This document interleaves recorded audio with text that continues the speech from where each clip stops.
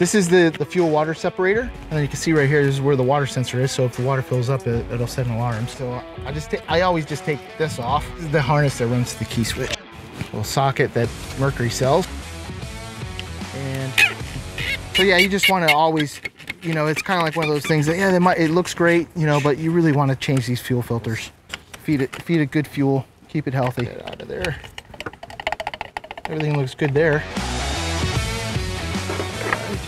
I always just I always put a little 2-4-C grease on those O-rings, just to, so it seats nice and doesn't bind. I start the threads and I'll tighten it with with this with this socket.